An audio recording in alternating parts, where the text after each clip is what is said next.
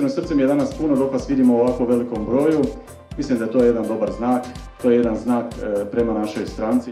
Da li hoćemo, znači ovo što sad imamo stabilnost, da nas uvažavaju, gdje je premijer dovukao preko 25 milijardi eura u Hrvatskoj kroz razne EU fondove, ili želimo neko gdje se bo svi svađali, gdje bude vlada ponovo sastavljena od 10-15 različitih stranaka, gdje bude, znači svađa.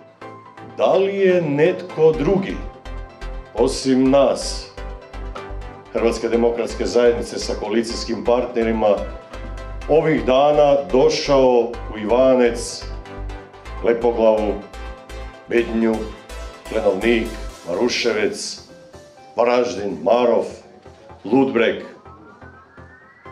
Jeste ga vidli? Jeste ih vidli? Možda tu i tam dele kakav letak, ali nisu došli. brza cesta. O njoj slušate 20 godina.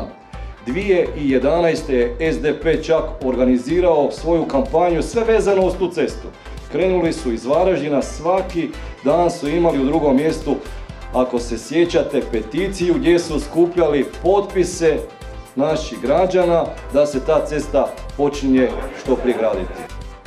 Do naše pojave nije bilo za nju niti urudžbenog broja.